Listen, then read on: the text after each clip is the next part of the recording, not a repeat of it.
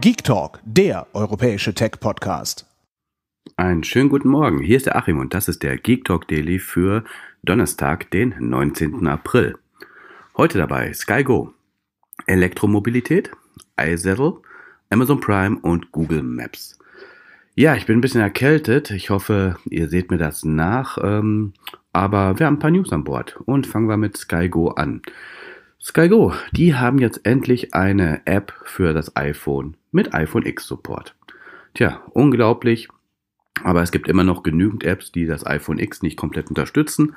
Und SkyGo ist eine davon gewesen, obwohl sie sogar ihr letztes großes Update im Februar hatten mit komplett neuen Design. Aber da eben nicht fürs iPhone X.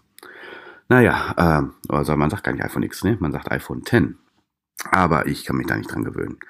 Ja, jedenfalls, jetzt gibt es die neue Version 7.5, die kann man im App Store runterladen und zusätzlich unterstützt das iPhone jetzt auch die Möglichkeit, dass man Videos weitergucken kann. Sprich, man hat diese eventuell woanders geguckt und kann sie an der gleichen Stelle auf dem iPhone dann auch weitergucken.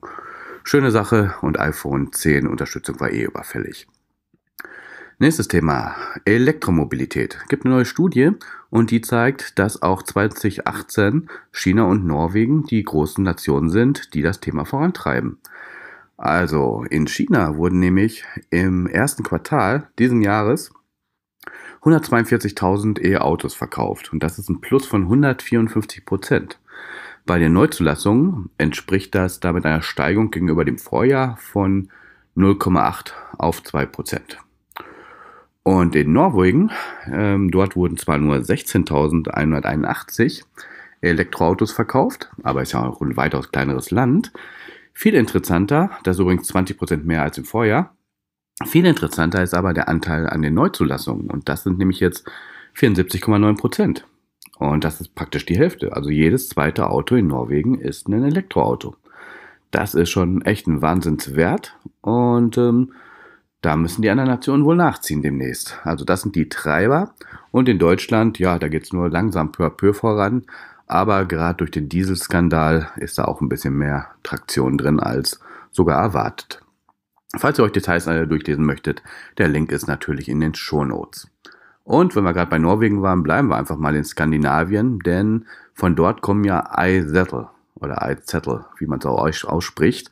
Das war ja ein Anbieter, mit dem man, also der schon lange dabei ist, mit dem man mit einem Dongle eine Kreditkarte an einem Telefon annehmen konnte. Man hat sich unten auf den Kopfhörerausgang so einen Dongle draufgesteckt, wie das amerikanische Vorbild von Square, und konnte dann die Karte reinstecken, durchziehen und somit Geld akzeptieren. Die haben ja auch immer weiter expandiert mit anderen Gadgets in Anführungsstrichen, um Karten zu akzeptieren. Und die wollen nun noch weiter, denn die launchen jetzt eine E-Commerce-Plattform, auf deren Basis Händler dort ihre Waren einstellen können und diese dann online verkaufen. Und davon bekommt iSettle dann als Transaktionsabwickler auch wieder ein Fee und damit finanzieren sie sich. Also ganz spannend. Die haben halt erkannt, Zahlungen annehmen, das ist nicht die Zukunft. Das können mittlerweile viele und sie müssen sich einfach ein bisschen weiter ja, aufstellen. ah, Entschuldigung.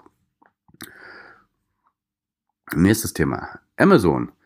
Amazon Prime, die haben jetzt die magische Nummer von 100 Millionen Nutzern erreicht, weltweit. 13 Jahre nachdem der Dienst in den Staaten gestartet ist und damals ja auch nur Free Shipping hatte, hat er ja mittlerweile, wissen wir alle, Video und diverse andere Dienste an Bord, aber hat jetzt endlich 100 Millionen Nutzer weltweit. Also eine beeindruckende Nummer, hätte ich jetzt auch nicht so erwartet.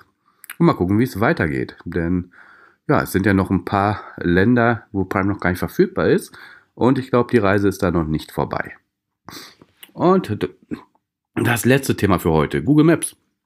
Die haben jetzt beschreibende ähm, ja, Navigationsanweisungen. Das ist echt eine spannende und gute Sache, wie ich finde.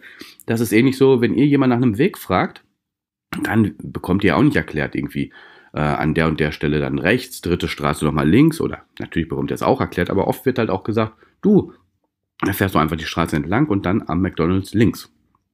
Und genau das hat Google Maps jetzt auch als Feature.